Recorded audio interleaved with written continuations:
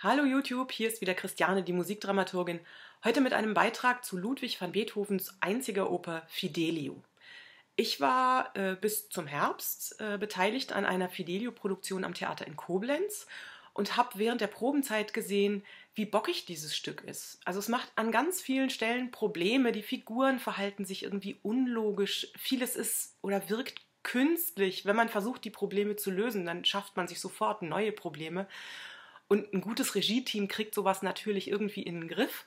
Aber ich habe mich gefragt, was ist mit diesem Stück los? Das ist ja nicht geschrieben worden von irgendwelchen Anfängern oder von irgendwelchen Leuten, die sagen, oh, wir versuchen mal, ob wir ein Theaterstück schreiben können. Nein, sondern da waren ganz gestandene Leute am Werk und ich habe gedacht, die müssen doch eine gute Oper schreiben können. Und ich habe mir dann die Vorlage nochmal genommen und nochmal sehr genau die Vorlage studiert. Äh, diese Vorlage ist ein Opernlibretto von einem Franzosen, der heißt oder der hieß Jean-Nicolas Bouilly, wurde 1763 geboren, so mitten in die französische Aufklärung hinein und der hat an Regierungssystemen so ziemlich alles gesehen, was es bis Mitte des 19. Jahrhunderts, er ist 1842 gestorben, gegeben hat. Also er kannte noch die Bourbonenkönige, er hat die französische Revolution miterlebt, er hat Napoleon gesehen und er hat natürlich dann die, die nach Napoleon folgenden Könige auch alle erlebt.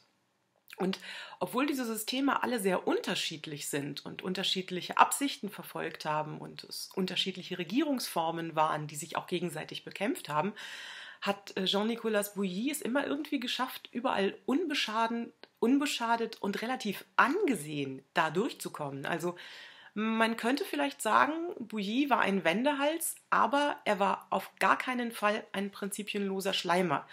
Dieses Libretto, das dem Fidelio zugrunde liegt, das heißt Leonore ou l'amour conjugal, auf Deutsch Leonore oder die eheliche Liebe. Handlung ganz grob zusammengefasst. Leonore, eine Frau von vornehmem Stand, verkleidet sich als Mann und heuert als Schließer unter dem Namen Fidelio in einem Gefängnis an. In diesem Gefängnis, so vermutet sie, sitzt seit zwei Jahren ihr Mann heimlich weggesperrt. Ähm, und sie stellt fest, ja, ihre Vermutung ist richtig. Ihr Mann sitzt im allertiefsten Verlies, kriegt schon seit geraumer Zeit nichts mehr zu essen, er soll verhungern. Und sie schafft es, unter Lebensgefahr ihren Mann zu befreien. Der Gefängnisdirektor erweist sich als Schuft, wird selber in dieses Verlies gesperrt und alle feiern die Heldentat von Leonore und ihre heroische Liebe, wie es an einer Stelle heißt. Und beim Studium dieser Vorlage hatte ich die Erkenntnis, der Autor hat zu viel gewollt. Es sind ganz viele Absichten drin und die sind für sich genommen auch alle spannend.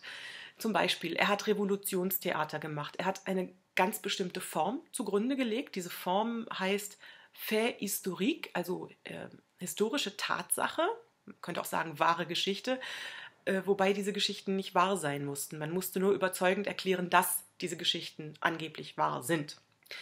Im Fait historique wurden oft heldenhafte Frauen gezeigt. Man hat Adlige und Nichtadlige, also Leute aller Gesellschaftsschichten, zusammen auf eine Bühne in eine Szene gebracht. Das war damals was Neues und vorher nicht denkbar gewesen. Ähm, Bouilly wollte eine gewisse Natürlichkeit auf die Bühne bringen. Deswegen äh, spricht die Familie von dem Kerkermeister Rock, heißt er in dieser Vorlage, äh, so eine Art, ich nenne es mal Bügelstubendialekt. Es werden alltägliche Geschäfte gezeigt. Die Figuren haben alle unglaublich viel Gefühl und es ist so viel Gefühl, dass man sich manchmal denkt, ja, nu, ähm, hör mal auf zu jammern oder hör mal auf zu schwärmen, wir haben es begriffen, mach weiter, ja. Ähm, Bouilly hat äh, so der Aufklärung gemäß gesagt, ich mache Theater, ich mache Bildung für alle. Und er hat zwei große Ideen untergebracht, große Ideen der Aufklärung, nämlich einmal Gerechtigkeit. Alle Menschen sind vor dem Gesetz gleich. Ein Chef kann ebenso bestraft werden wie irgendein kleiner Mann. Das ist eine Idee, die äh, Voltaire am Anfang des 18. Jahrhunderts vertreten hat. Bouilly hat die Idee von der Liebe in der Ehe propagiert. Das war damals eine ganz junge Idee, denn bis ins 18. Jahrhundert hinein sind Eheleute zusammengegeben worden von irgendwelchen anderen Leuten, die gesagt haben, ähm, es ist politisch sinnvoll, dass mein Sohn eine bestimmte Tochter heiratet. Oder es war gesellschaftlich wichtig. Oder jemand hat gesagt, meine Tochter heiratet nur einen reichen Handwerker. Und dann wurden Ehen arrangiert. Und erst mit der französischen Aufklärung, mit zum Beispiel den Werken von Jean-Jacques Rousseau, äh, kam man dahin, dass man gesagt hat, ja, also es gibt das Phänomen der Liebe, Menschen verlieben sich ineinander und äh, die wollen auch selber ihren Ehepartner wählen und wollen eben nicht irgendjemanden heiraten, von dem man sagt, so, den oder die heiratest du jetzt. All das sind wahnsinnig spannende Punkte und wenn man sich da reinkniet, dann ist es auch wahnsinnig ergiebig, was man da alles noch äh, an Seitenaspekten und Nebenaspekten findet.